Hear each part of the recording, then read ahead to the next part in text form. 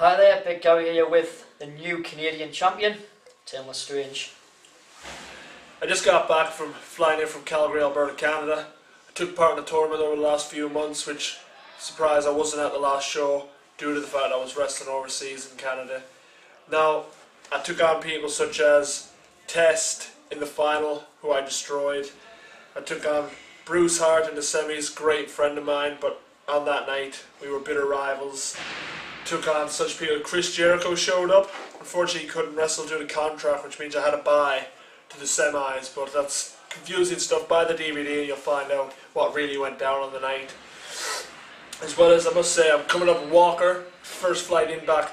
I've got Joey Wright coming up with Walker. Well, Joey, this may be the best night of your career because you get to step into the ring with a true legend, an icon like myself. So I wish you luck. But then again, you're going to need more than that when you come up the Walker against me, the new Canadian World Champion. Thank you. Now I'm just going to go get some sleep. See you later. Yeah,